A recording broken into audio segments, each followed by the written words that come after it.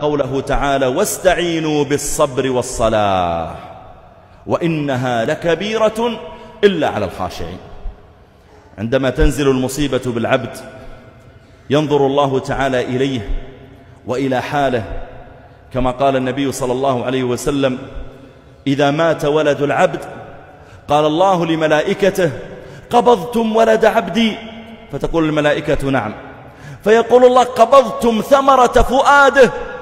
الله الذي خلقك وخلق في قلبك محبة لولدك يعلم قدر ولدك عندك ومع ذلك أخذه وهو أرحم بك وبه منك. يقول الله قبضتم ثمرة فؤاده. تقول الملائكة نعم. فيقول الله فماذا فعل عبدي؟ هل جزع؟ انتحر؟ شرب مسكرا لينسى؟ ماذا فعل عبدي كيف تصرف مع المصيبة لما نزلت عليه فماذا فعل عبدي والله أعلم بحاله. فماذا فعل عبدي؟ فتقول الملائكة حمدك واسترجع.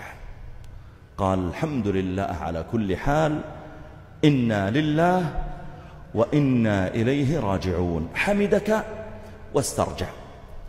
فيقول الله ابنوا لعبدي بيتا في الجنة وسموه بيت الحمد.